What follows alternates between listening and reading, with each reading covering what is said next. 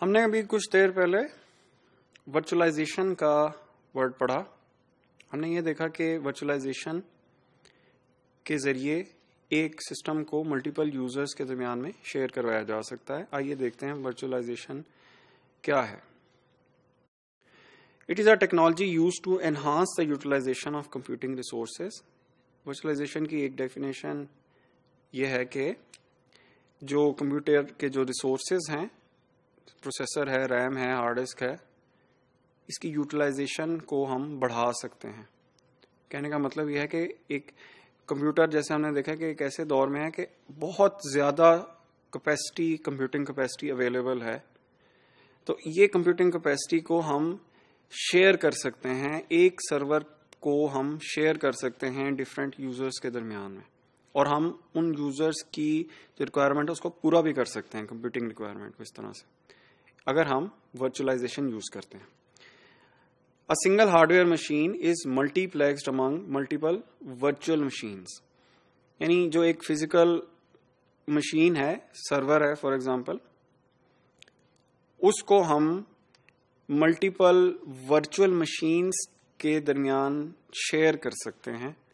वो virtual machines यानी वो ख्यालाती तौर पे वो एग्जिस्ट कर रहे हैं। उनकी फ़िज़िकल एग्जिस्टेंस नहीं है। फ़िज़िकल एग्जिस्टेंस उस मशीन के है कि जिसके ऊपर ये वर्चुअल मशीन्स जो हैं वो चल रही हैं। Software based virtual machine monitor manager और वीएमएम और hypervisor is a program that manages the hardware resources for the VMs and also keeps each VM from disrupting other VMs. कैसे होता है ये वर्चुअलाइजेशन बेसिकली सॉफ्टवेयर है virtualisation का। उसको हम वर्चुअल मशीन मॉनिटर भी कह सकते हैं, उसको हम हाइपरवाइजर भी कह सकते हैं।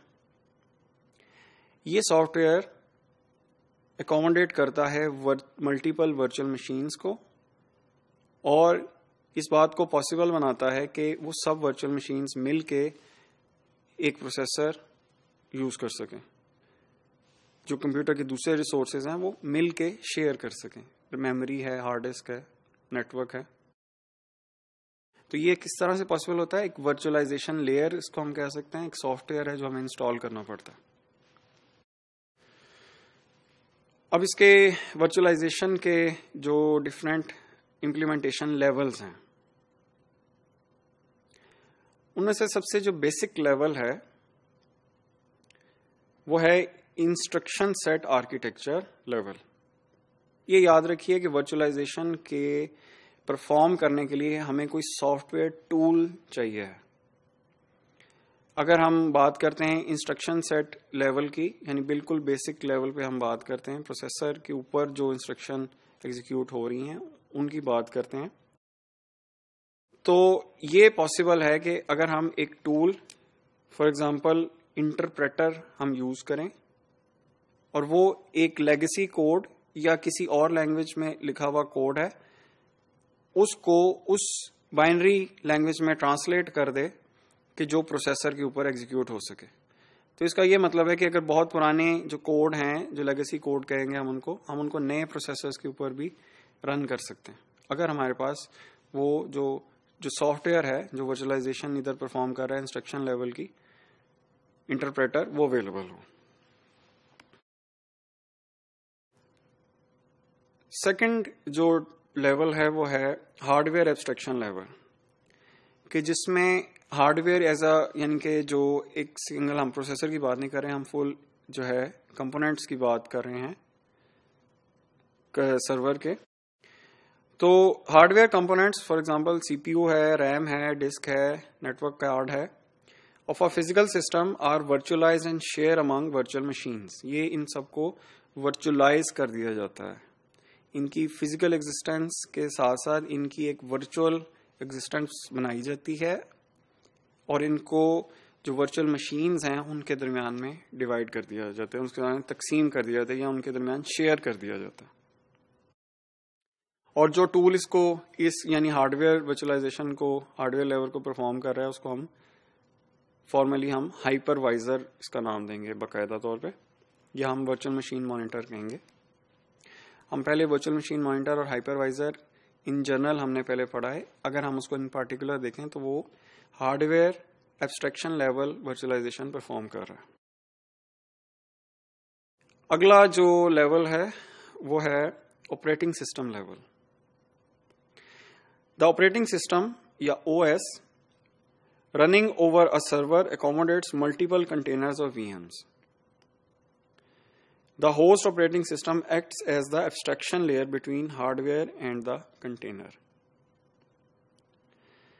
कि जो ऑपरेटिंग सिस्टम है, पहले हमने बात की, इससे पहले हाइपरवाइजर की, जो हमें टूल इंस्टॉल करना पड़ता है सर्वर के ऊपर for hardware abstraction level virtualization वो है हाइपरवाइजर वो हमें इंस्टॉल करना पड़ता है ये जो ऑपरेटिंग सिस्टम लेवल है, इसमें ऑपरेटिंग सिस्टम ही हाइपरवाइजर का भी काम करता है और वो क्या है कि वो मल्टीपल वर्चुअल मशीन्स अपने ऊपर अपने साथ अकोमोडेट करता है और उनकी जो प्रोसेसिंग रिक्वायरमेंट है स्टोरेज रिक्वायरमेंट है, उनको वो पूरा करता है। Library support level virtualization virtualization में जैसे हम देख रहे हैं कि एक फ़िज़िकल सर्वर को वर्चुअल जो है रिसोर्सेज में चेंज करके आगे वर्चुअल मशीन्स को दे दिया जाता है या उनके दरमियान में शेयर किया जाता है। अगर कोई वर्चुअल मशीन एक्चुअली जो हार्डवेयर कंपोनेंट यूज़ करना चाह रही है फॉर एग्जांपल ग्राफिक कार्ड है, कोई वर्चुअल मशीन उसको एक्सेस करना चाह रही है ग्राफिक कार्ड पे जीपीयूज हैं जिनको कि आप प्रोग्रामिंग के लिए या प्रोसेसिंग के लिए भी आप यूज़ कर सकते हैं using CUDA language C U D A तो उसी की जो एक जो वर्चुअलाइज्ड फॉर्म है, वो है V C U D A V CUDA कि जो कॉल्स हैं, वो अवेलेबल हैं वर्चुअल मशीन को यूजिंग वी कूडा और वो कॉल्स रिसीव करके ये एनवायरमेंट एक्चुअल जो फ़िज़िकल ग्राफिक कार्ड है, उसके ऊपर वो जो इंस्ट्रक्शंस है, वो एग्जीक्यूट करवा सकता है। Using V CUDA API calls last में हमारे पास एप्लीकेशन लेवल है वर्चुअलाइजेशन का। An application acts as a VM through wrapping of application in an abstraction layer which isolates it from operating system and other applications. एक application को आप एक ऐसी जो एब्स्ट्रैक्शन लेयर में आप चलाएँ कि जो जिसकी वजह से उस एब्स्ट्रैक्शन लेयर की वजह से वो एप्लीकेशन खुद ही एक वीएम की तरह परफॉर्म करे तो हम इसको कहेंगे कि ये एप्लीकेशन लेवल की वर्चुअलाइजेशन हो रही है। Another type is using virtualization layer as programming environment इसकी एक दूसरी जो टाइप हो सकती है, वो है कि जो वर्चुअलाइजेशन लेयर है, वो एक खुद ही प्रोग्रामिंग एनवायरमेंट के तौर पे एक्ट करना शुरू कर दे, जैसे कि जावा वर्चुअल मशीन है। ये याद रखें कि इसके बाद जो हम वीएम या वर्चुअल मशीन की बात करेंगे तो उससे मुराद एक ऐसा वर्चुअल सिस्टम है कि जिसमें एक hard disk virtual hard disk for example एक हार्ड डिस्क लगी हुई है, उसकी वर्चुअल रैम है, उसका वर्चुअल प्रोसेसर है, उसका एक वर्चुअल नेटवर्क आईडी का एनआईसी कार्ड है। ये सब की सब चीज़ें मैप हो रही हैं फ़िज़िकल रिसोर्सेज पे, उस सर्वर पे जिसपे वर्चुअल मशीन चल रही है। जो एक वर्चुअल मशीन का वर्चुअल प्रोसेसर है वो उसके जो सर्वर जो होस्टिंग सर्वर है उसके फ़िज़िकल प्रोसेसर का एक पार्ट शेयर कर रहा है यूज़ कर रहा है। इस तरह उसी सर्वर पे एक दूसरी वर्चुअल मशीन भी है अगर तो वो दोनों वर्चुअल मशीन मिल के वो प्रोसेसर एक शेयर कर रही हैं। रैम शेयर कर रही हैं hard disk for example share कर रही हैं। नेटवर्क कैपेसिटी जो है वो शेयर कर रही हैं। सो so, जब हम आगे चलेंगे और मैं वर्चुअल मशीन अगर कहूँगा तो उससे मुराद वो एक वर्चुअल सिस्टम है कि जो हमें जो एक्ट है, वो फिजिकली सर्वर की तरह वो एक्ट कर सकता है, लेकिन वो वर्चुअली क्रिएट किया हुआ सिस्टम है।